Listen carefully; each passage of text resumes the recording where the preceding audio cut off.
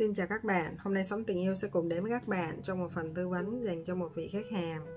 À, Cô là vợ và cô đang mang một cái nỗi oán hận rất lớn đó là những năm tháng à, xưa cũ nghèo nàn Cô đã từng à, đứng ra vay mượn giúp cho chồng cô làm ăn rất là thành công.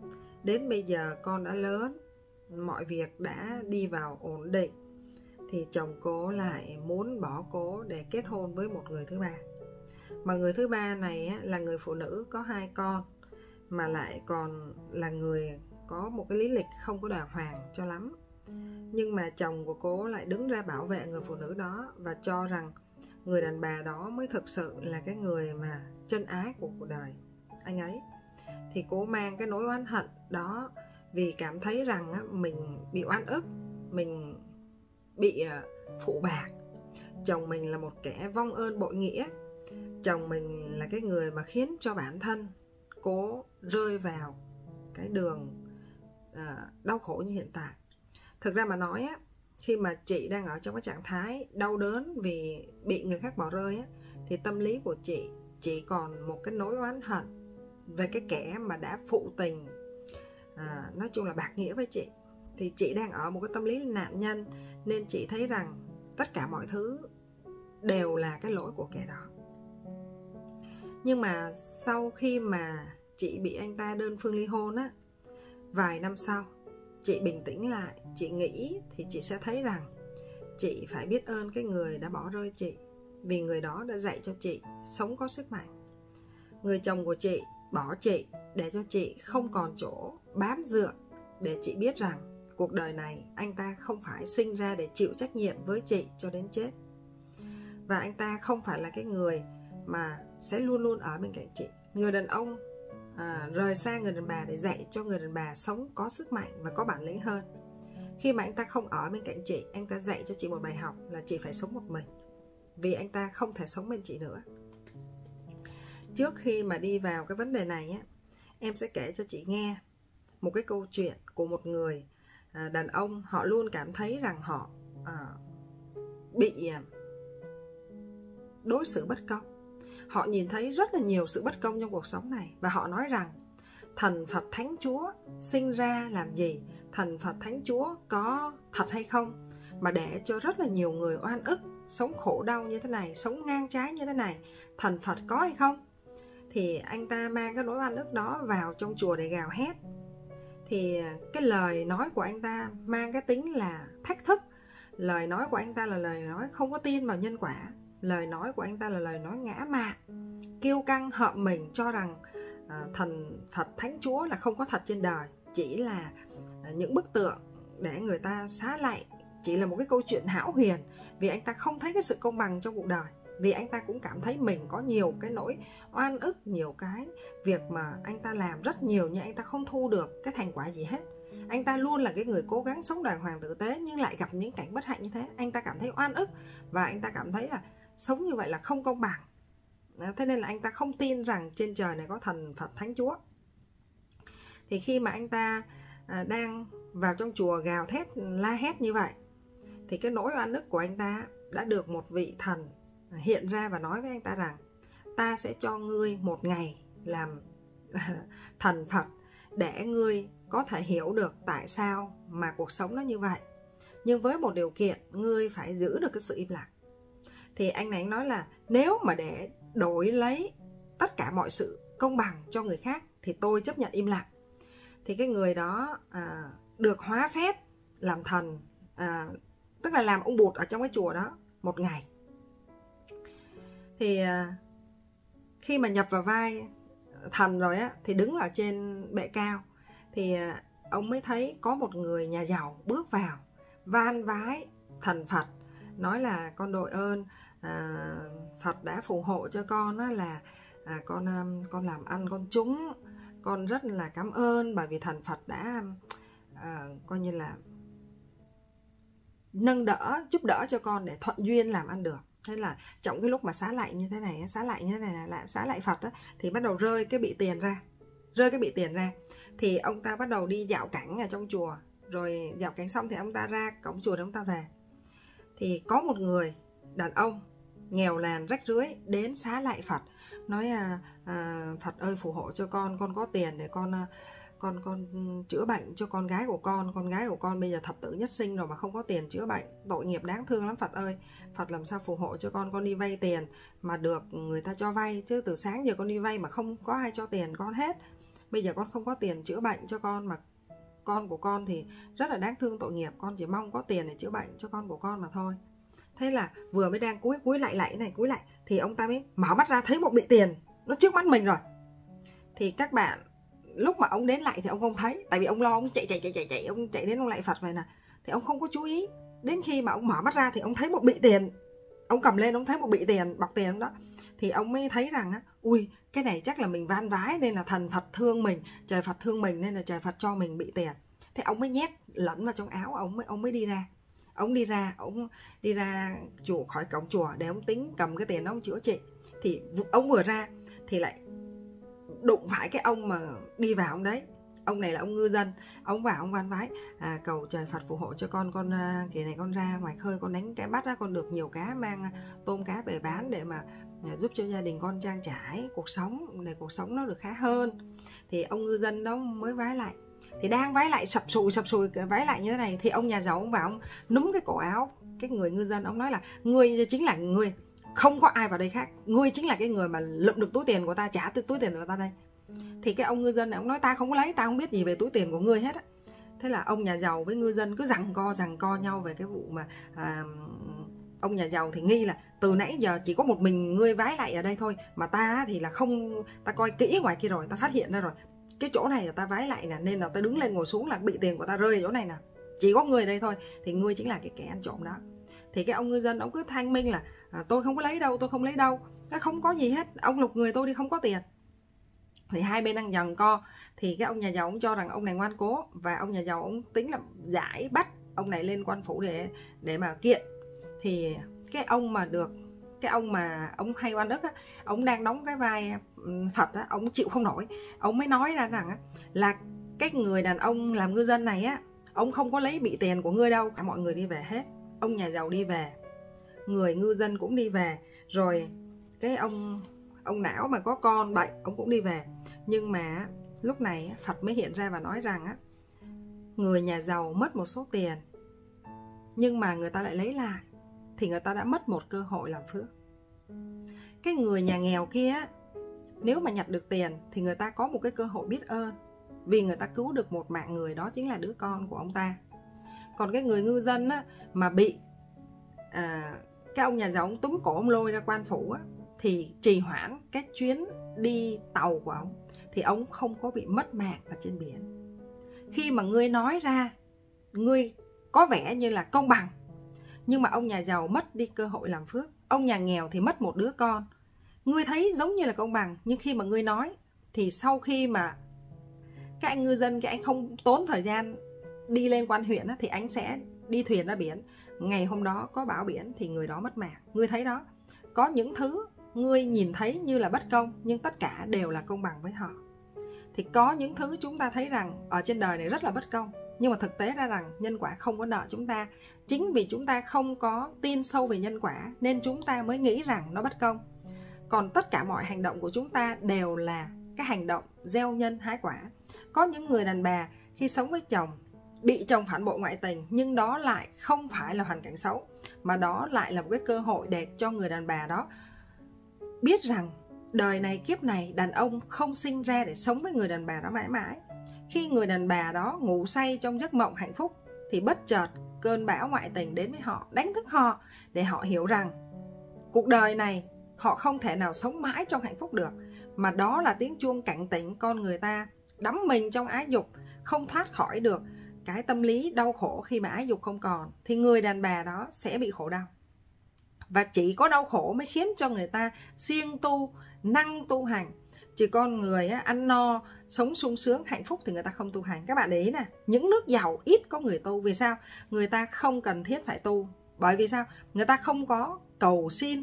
Người ta cứ nghĩ là người ta đi làm, người ta có ăn. Chính vì người ta nghĩ như vậy, nên người ta không cần có một cái sự thay đổi nào hết. Bởi vì cuộc đời của người ta là không làm là chết đói ngay, chứ không có phải là cầu xin ai hết mà họ nghĩ một cái cách thực tế là họ không làm là không có ăn. Đó chính là nhân quả. Đó chính là cái cách mà họ phải nỗ lực để kiếm sống để tạo ra đồng tiền để mà vận hành những cái sinh hoạt và trả những chi phí cho mình. Thế nên là có những người cứ nghĩ rằng mình phải đi cầu xin nhưng mà thực tế là mình không có gieo.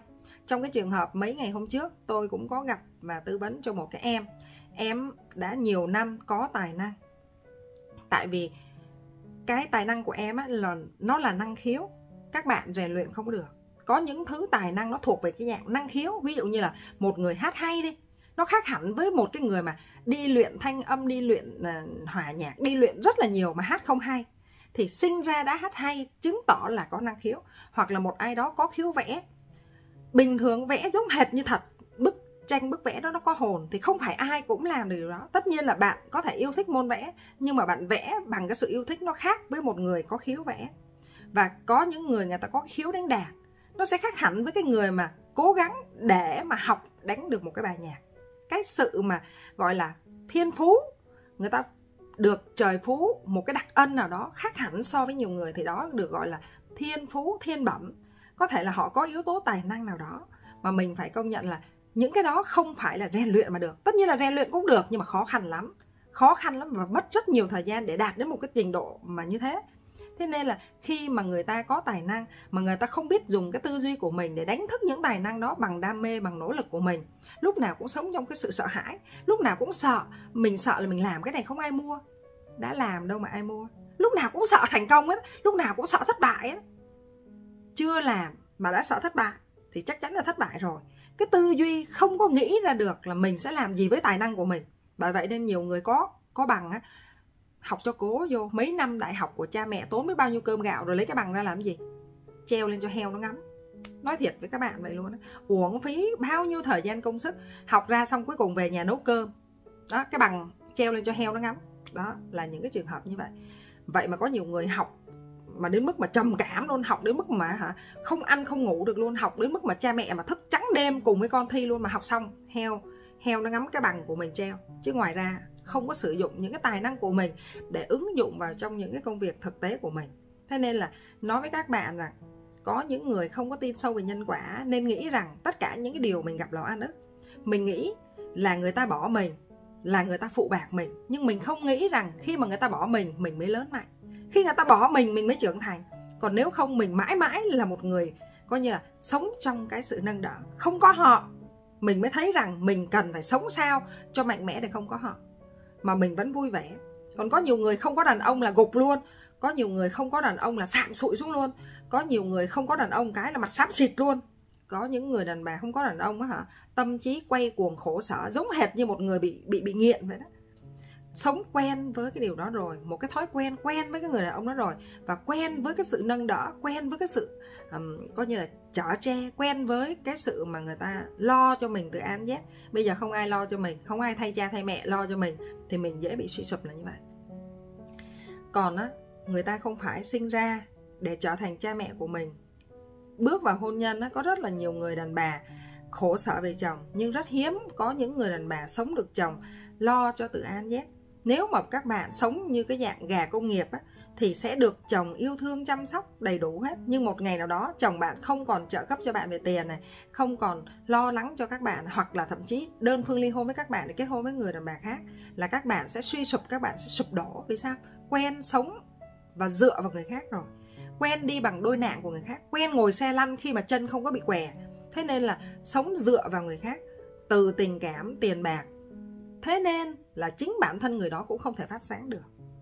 Khi mà người đàn bà khổ mà người ta vẫn sống bên nhau, vì sao? Vì lúc đó người ta còn cần nhau, vì lúc đó người ta còn tình yêu. Đến khi người ta hết duyên, hết nợ, người ta không còn yêu thương nữa và người ta lại vướng vào một cái mối quan hệ khác, thì có nhiều người đàn bà khi mà thấy chồng phản bội ngoại tình ấy thì người đàn ông là chồng của họ lập tức biến thành chó ghẻ ngay. Khinh thường chồng, chửi bới, chu chéo, nói xấu chồng, nói chung là nhìn chồng khinh thường, xem rẻ chồng như một chó ghẻ nhưng mà thực tế ra, người ta không có trách nhiệm phải ở bên cạnh mình suốt cuộc đời. Và nhân quả của mình á, gieo đến đâu thì mình gặp đến đó. Biết đâu chừng kiếp trước, mình chỉ có nhân duyên với họ đến cái giai đoạn đó thôi, đến cái thời điểm đó thôi. Và tôi cũng nói và chia sẻ với các bạn trong rất nhiều video mà tôi đã từng đăng tải là đàn ông đến với chúng ta trong một giai đoạn của cuộc đời. Và đến một lúc nào đó họ sẽ không ở bên cạnh chúng ta nữa. Chúng ta có rất nhiều cách để chia tay và rất là nhiều người đàn bà mong rằng lấy chồng để tìm chỗ dựa về già nhưng rồi, cuối cùng cũng phải chia tay thôi. Chia tay bằng cách nào? Một trong hai người sẽ phải chết đi này, hoặc là hai người chết cùng với nhau này, hoặc là bà chết trước, ông chết sau này, hoặc là nhiều tình huống khác nữa mà mình không có nghĩ đến. Chia tay này, ly hôn này, người ta đơn phương ly hôn với mình là người ta yêu người khác, người ta không còn yêu mình nữa. Đó cũng là những cái cách mà chúng ta phải chia tay. Chúng ta đối diện với vô thường trong tình yêu, vô thường trong hôn nhân mà chúng ta không chấp nhận. Chúng ta lúc nào cũng muốn dài lâu, bền bỉ, mãi mãi với cái người đó nhưng mà nhân quả của chúng ta chỉ nợ họ đến đó thôi. Cái món nợ của chúng ta nợ họ đến đó thôi. Và họ nợ chúng ta chỉ đến đó thôi. Các bạn để ý một vấn đề nè có những người đàn ông sinh ra trên đời này rất được vợ yêu thương, cưng chiều mà vẫn bỏ vợ. Có nhiều người đàn bà hy sinh cả một đời đi trả nợ cho chồng, yêu thương chồng rất nhiều, nhưng vẫn bị chồng bỏ. Vì sao? Vì họ, cái món nợ đó trả đến đó là hết rồi. Người ta trả hết nợ rồi thì người ta không còn nợ nhau nữa. Mà khi không còn nợ nhau, người ta không còn yêu nhau nữa ngày xưa tại sao trong tất cả rất nhiều người đàn ông đàn bà mà người ta lại lao đến với bạn, người ta muốn kết hôn với bạn? Tại sao vậy? Tại vì bạn mắc nợ họ. Họ mắc nợ bạn nên họ đến để trả nợ những cái món nợ đó. Sau khi mà hết nợ rồi, gỡ, không cần gỡ, nó cũng ra. Khi mà người ta dính nợ, gỡ không ra. Nhưng mà khi người ta trả hết nợ, không cần gỡ, nó cũng tự bung ra. Thế nên là duyên đến thì kết, mà duyên hết thì buông. Sống theo, thuận theo tự nhiên, đó chính là lối sống trí tuệ nhất. Có nhiều người ráng cố ráng cố để mà giữ lại người yêu hoặc là giữ lại cái người đàn ông đó mà tạo ra những cái điều đau khổ cho chính mình. Có những cái vụ mà thảm án hoặc là thảm sát cũng do là sao mình cố níu kéo, mình cố giữ những cái không thuộc về mình. Nhân quả đã như vậy rồi, thuận duyên thì đó chính là cái vấn đề chúng ta tùy duyên. Người ta đến thì mình đón, người ta đi thì mình tiễn. Nếu mà bạn sống được như vậy thì bạn sẽ cảm thấy bình an hơn còn cái tâm lý thắng thua của mình á, luôn đặt mình vào cái cửa là mình mất chồng. Thật ra đâu có mất, hết duyên thì không còn ở với nhau nữa thôi. Chứ mất đi đâu mà mất, không có mất. Vấn đề ở đây là do chúng ta cố chấp, do chúng ta quen quen với cái việc mà sống vào người khác, nhờ người khác, dựa hơi người khác. Và có rất là nhiều người đàn bà nghĩ rằng á, mình sống lấy chồng để mà tìm chỗ dựa. Nhưng mà xin các bạn nghĩ cho thật kỹ đi. Có nhiều người đàn ông sống dựa vào đàn bà chứ đâu có được dựa vào đàn ông đâu khi mà có những người đàn ông bước vào hôn nhân cùng chung sống với bạn có những người đàn ông đã trở thành bạn đồng hành nhưng có những người đàn ông bước đến cuộc đời của người đàn bà trở thành con nợ và có những người đàn bà đã trở thành chủ nợ của cái người đàn ông đó và cứ đi trả nợ cho người đàn ông đó rồi làm biết bao nhiêu điều đau khổ khiến cho vợ đau khổ rồi cuối cùng người đàn ông đó phụ bạc người đàn bà đó rồi lấy một người đàn bà khác thì người đàn bà kia gào thét la hét cho rằng anh ta đã phản bội nhưng mà thực tế ra là trả hết nợ rồi. Người đàn ông đó đến đòi nợ các bạn, lấy hết nợ rồi, thì người ta đi thế thôi. Còn bạn mới là cái người vô lý. Người ta không còn nợ các bạn nữa mà các bạn cứ đuổi theo đòi bắt người ta phải nhận cái món tiền. Người ta đâu có còn ừ, mắc nợ gì các bạn đâu mà các bạn xông theo mà đeo đuổi người ta như thế. Thế nên là do chúng ta không có nghĩ được những cái việc sâu xa. Nếu mà bạn là người mà có thể hiểu được nhân quả của mình thì bạn sẽ thấy rằng mọi điều đến với bạn nó đều có cái ý nghĩa và lý do riêng của nó. Bây giờ, có những người luôn luôn oán người trách trời, như ngày xưa cũng vậy, như bản thân tôi cũng vậy. Ngày xưa khi mà tôi khổ, tôi cũng oán trời trách người ghê lắm. Tại vì chính điều này tôi đã trải qua rồi. Tôi cảm thấy cuộc sống không công bằng. Tôi cảm thấy sao đời tôi nó khổ như thế này, mà tại sao tôi lại làm Ờ, những cái điều thiện phước như vậy mà tôi lại gặp những cái hoàn cảnh như này. Nhưng mà sau này khi mà trở thành một người tư vấn với một cái tư duy giống như tôi như thế này, thì lại đem đến cho các bạn những cái bài học, những cái phần lý luận, lập luận rất là sắc bén và rõ ràng, thực tế, đường đời như thế này.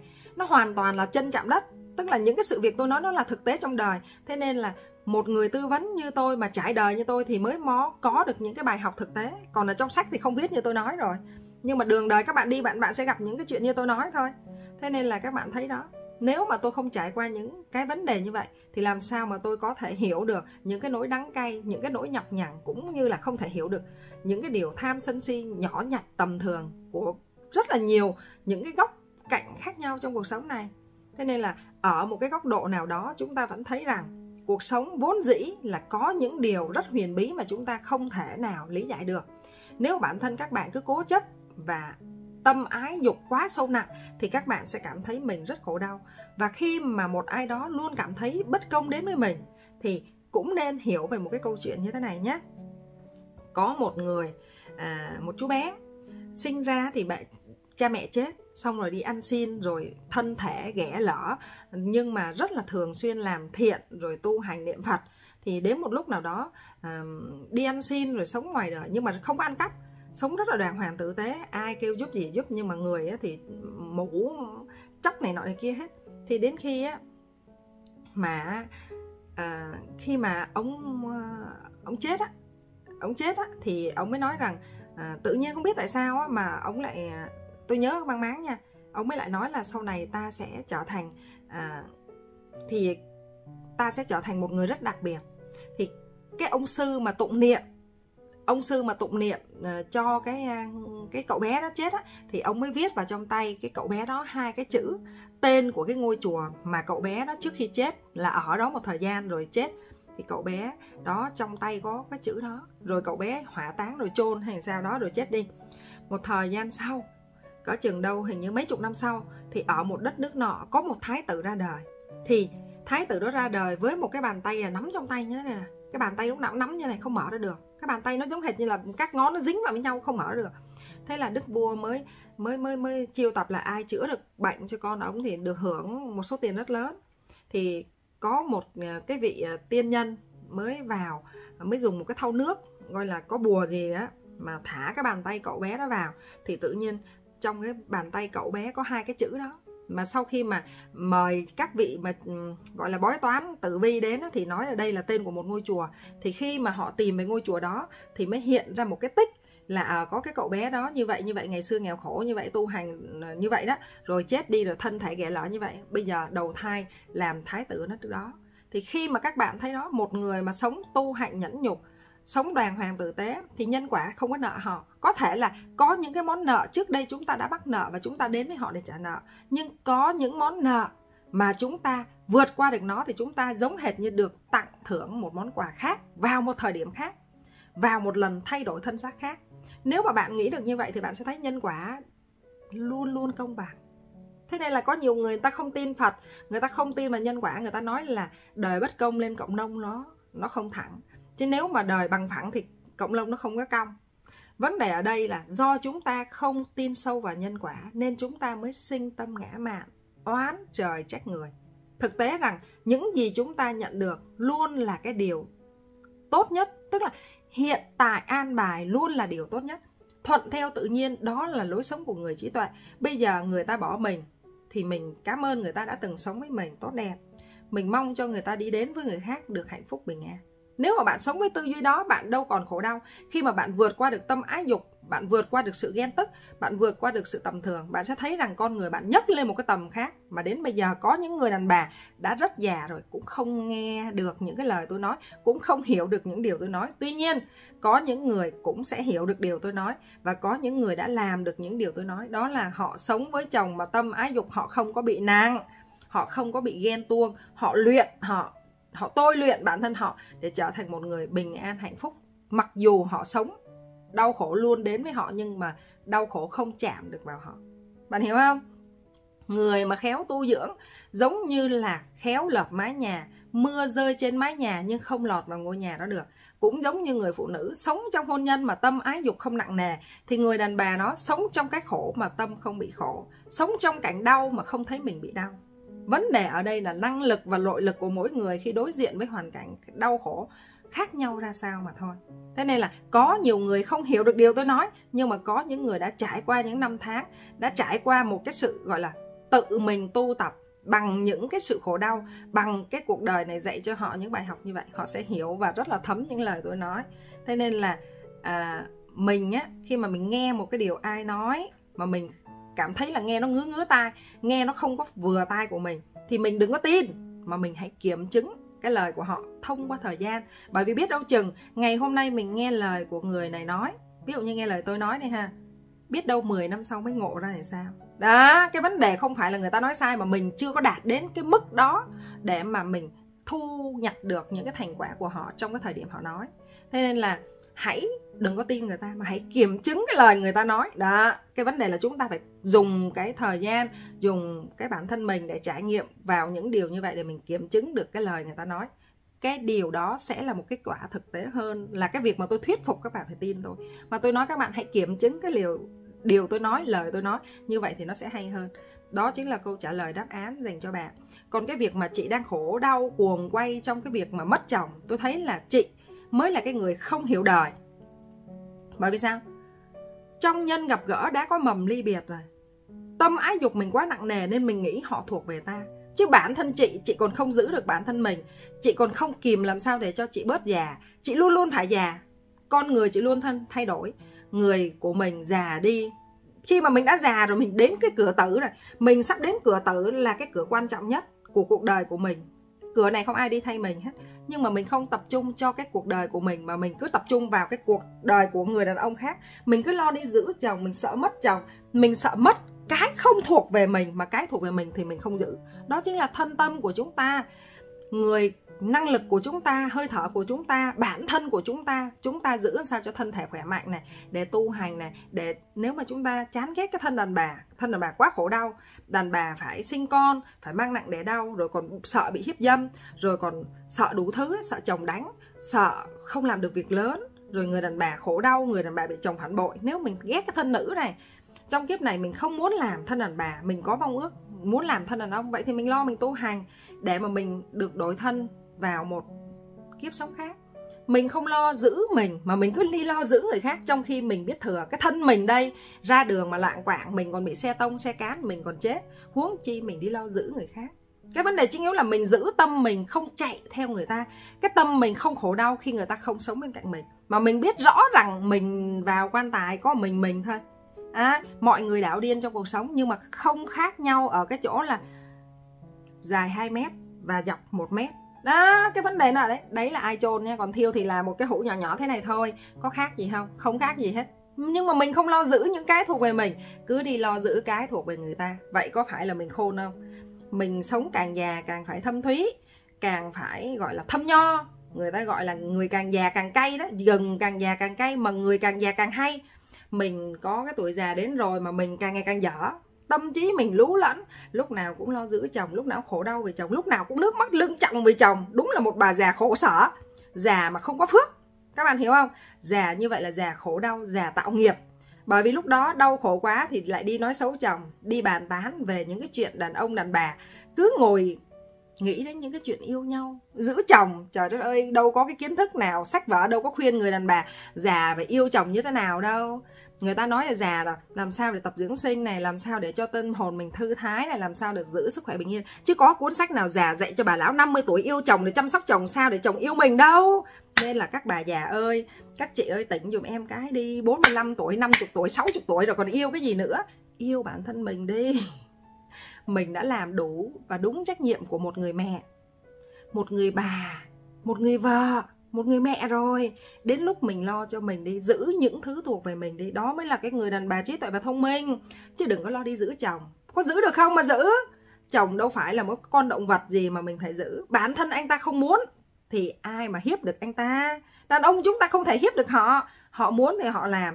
Nhân quả đâu có nợ chị. Nhân nhân quả cũng không nợ anh ta. Anh ta làm sai, làm xấu thì anh ta chịu cái nghiệp tất cả mọi thứ nên để cho nhân quả giải đáp. Chứ mình không nên phải sâu xé, cũng chẳng cần phải đi chạy dạy theo ông ta. Giữ được anh ta không? Anh ta không giữ bản thân anh ta, làm sao các chị giữ được chồng? Thế nên là các chị cứ mơ mơ màng màng, u u mê mê chi cho nó mệt vậy, không biết nữa. Tư duy mình phải nhìn thấy rõ, mình không giữ được ai hết. Mình đây còn không giữ được tâm lý của mình vững vàng khi người ta bỏ mình. Mình thì lại lo đi giữ người ta. Mà người ta có giữ người ta cho mình đâu mà mình giữ. Vô lý không? Yêu đơn phương yêu một chiều chạy theo người ta như yêu như điên như dại ấy, thì cũng là một cái căn bệnh đấy. đấy căn bệnh không biết yêu thương mình căn bệnh thần trí mình có vấn đề. Người ta không yêu mình mà mình cứ chạy theo mình yêu người ta. Trong khi đó mình lại đánh mất đi cái vấn đề quan trọng nhất là mình cần phải nhìn lại bản thân mình. Mình phải sống cho mình thì không lo sống cho mình mà cứ lo sống cho người khác giữ cho người khác.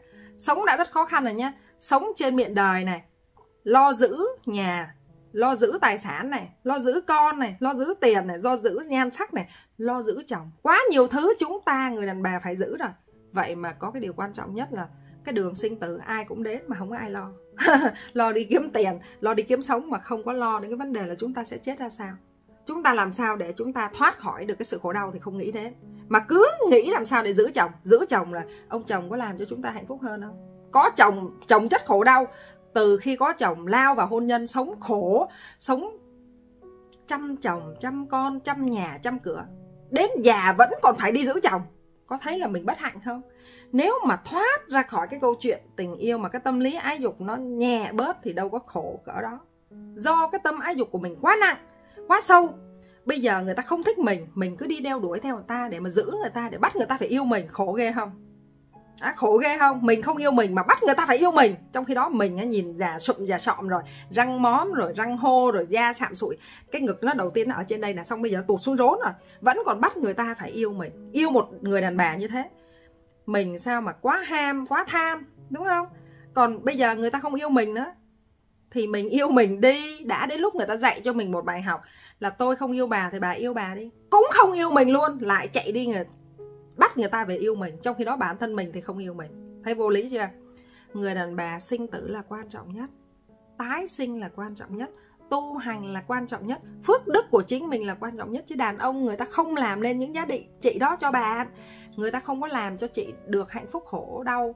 Nếu mà chị không muốn đón nhận điều đó thế nên á, đừng có chạy theo người ta mà chị làm sao mà không chạy theo người ta mà chị ở yên một chỗ mà chị được bình yên thì đó mới là cái giá trị sống của một người đàn bà trong hôn nhân chị nhé bây giờ chồng bỏ mình thì mình ừ chồng không bỏ mình á, mà mình chưa muốn bỏ chồng thì mình cứ im lặng, mình để cho nó tự nhiên. Còn nếu mà anh ta muốn đơn phương ly hôn á, thì chị cũng để cho anh ta thuận tình. Còn chị ngăn cản cũng không được. Vậy chị đảo điên để làm gì cho nó khổ đời ra? Nếu mà ngay trong cái lúc này mà nhiều người đàn bà già mà lại tìm cái cách làm sao để cho chồng yêu mình giờ già rồi, chẳng lẽ bây giờ mình đi đặt ngực? Già rồi, cái cái cái cái vú mướp mà nó xệ xuống tận rốn, bây giờ mình đi đặt ngực, rồi mình đi cắt ngực, xong mình đi siết mỡ bụng, mình đi cắt cái bụng, xong rồi nối cái mỡ bụng nó nhỏ lại, rồi khâu khâu cái cờ him lại cho nó nhỏ, để làm gì? Mà chồng nói điều này mới nói mới buồn. Có nhiều người đã làm như vậy rồi, chồng vẫn không ngủ. Mà vẫn còn trẻ ba mấy tuổi mà chồng đã chê cỡ đó rồi. Nâng ngực rồi siết mỡ bụng, khâu luôn con cờ him ở dưới, mà chồng vẫn không ngủ với mình. Vậy thì giữ chồng để làm cái gì nữa? Người ta có muốn giữ người ta cho mình đâu, người ta có dành cho mình đâu mà mình giữ. Không khác gì mà đuổi chim trên trời. Đuổi chim trên trời không khác gì mà đuổi thú trong rừng. Nó rất là mông lung, bắt cá ở dưới sông. Hai tay mà bắt cá dưới sông không có cái dụng cụ gì hết. Cứ mơ mơ màng màng làm những cái điều vô ích, vô bổ, vô nghĩa, không có hiệu quả. Có phải là mình tự làm khổ mình không? Nếu mà mình bình tĩnh, mình suy xét lại, thì mình phải hiểu rằng tất cả mọi thứ đến với mình nó đều có cái lý do của nó. Mình oán hận người khác, mình cảm thấy nó không công bằng bởi vì mình không có nhìn ra được cái nhân quả của mình. Và cái vấn đề mà nhìn nhân nhân quả thì nó rất là khó. Nhưng mà nếu thực sự mình hiểu rõ về vấn đề nhân quả thì mình sẽ không có cái sự oán trách như vậy đâu. Nên là chị bình tĩnh lại, chị suy xét về cuộc sống đi. Mình đã có một thời gian sống rất là lâu dài rồi.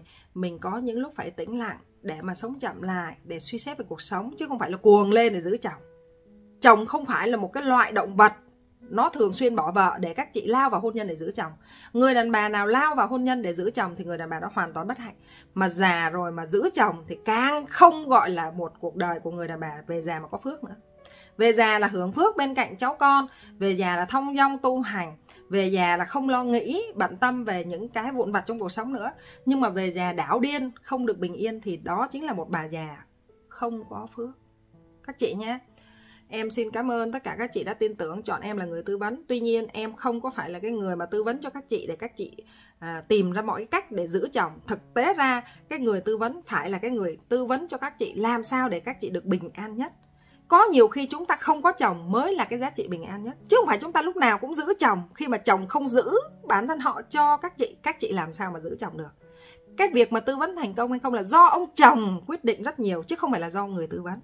Người tư vấn chỉ là cái người hướng dẫn cho các anh chị. Những cái lối đi làm sao cho các anh chị chữa lành bớt đau. Và người ta sẽ tư vấn làm sao để mà giữ chân ông chồng khi mà ông chồng còn yêu các chị các chị nghe kỹ nha. Còn khi ông chồng đã không còn muốn yêu các chị, cho dù là có giữ được ông chồng về mặt thể xác đi nữa, thì ông chồng đó, trước mặt chị là người ngoan nhưng sau lưng chị vẫn là kẻ phản bội. Trước mặt chị vẫn là chồng tốt nhưng mà sau lưng chị đã rắp một cái tâm không còn ở với các chị nữa. Thì các chị có chấp nhận phải không? Nếu các chị yêu cái bằng, gọi là, cái giấy tờ hoặc là yêu chuộng cái tờ kết hôn thì các chị vẫn còn mà chồng của các chị chỉ mang tinh trùng cho một người nào đó khác thôi. Còn chồng xác vẫn còn nguyên đó nhưng mà hồn anh ta không ở bên chị nữa. Nếu mà các chị nghĩ rằng tôi muốn chồng ở trong ngôi nhà tôi thì thân xác anh ta đang ở trong nhà đó, nhưng mà hồn anh ta không ở với các chị nữa. Và anh ta từ chối quan hệ tình dục với các chị, bởi vì sao? Anh ta không còn tình cảm và cảm xúc với các chị nữa. Thế nên anh ta không ép mình để có thể ngủ với các chị. Đó chính là lý do thực tế nhất, các chị nhé. Hãy chấp nhận điều đó. Hãy hiểu rằng duyên nợ đã hết, mình đã hết nợ người ta thì người ta không còn tìm kiếm mình để mà làm gì. Tất cả mọi cái vấn đề cũng chỉ vì cái bản chất thực tế, thực dụng cho cuộc sống. Con người vốn dĩ sống cùng nhau vì tương sinh, lợi sinh và thậm chí lợi dụng nhau mà sống. Tất cả bản chất con người cũng chỉ xoay quanh những cái vấn đề tình tiền và những lợi ích của mình mà thôi. Nếu hiểu đúng được điều như vậy thì có gì đâu mà phải oán hận, các chị nhé. Rất là cảm ơn các chị đã tìm đến và chọn tôi là người tư vấn trong những tình huống của các chị. Xin chào.